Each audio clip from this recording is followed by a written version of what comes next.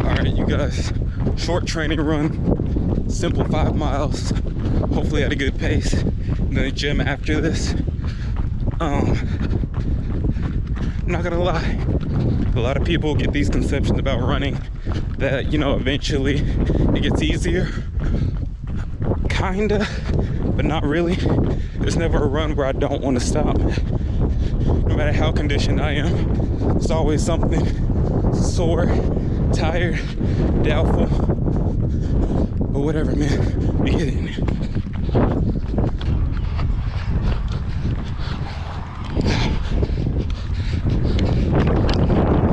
Speaking of it always being something, I forgot to take my running shoes, my energy shoe. I wouldn't take it on a five mile run anyway, but I got the gym after this.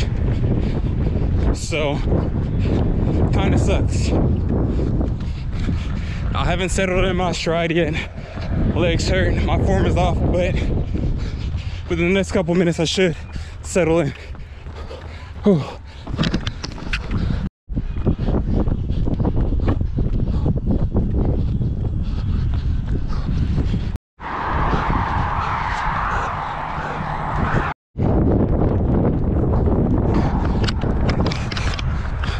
All right, pretty decent in my stride now. Two miles in, feel like quitting, but of course we won't. It doesn't even matter, man.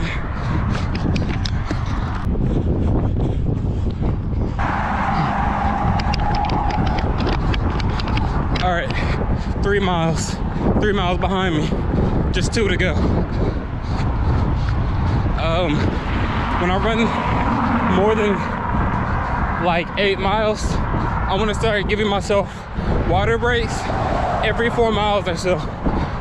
What this does is condition me for the race so that I know on the marathon I can stick to that and I won't overwater myself.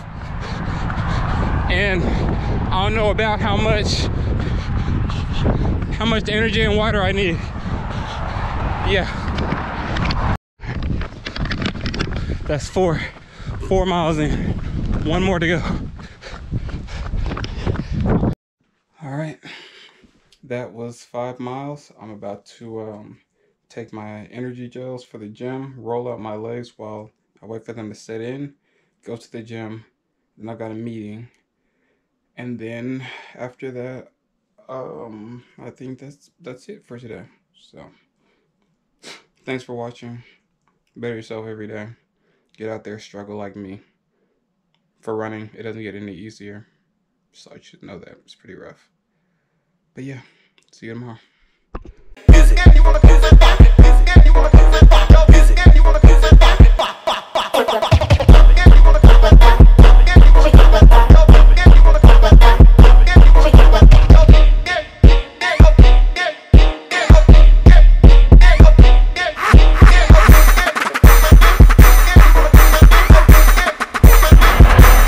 crazy cat.